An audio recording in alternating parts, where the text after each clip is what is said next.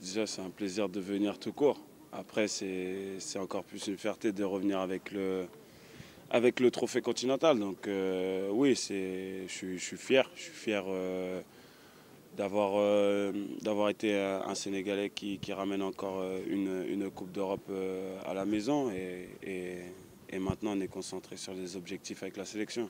Au-delà de l'équipe nationale, vous venez de remporter la Ligue des Champions et vous savez que vous, êtes en candidat sérieux pour le prochain Ballon d'Or africain. Est-ce que vous y pensez?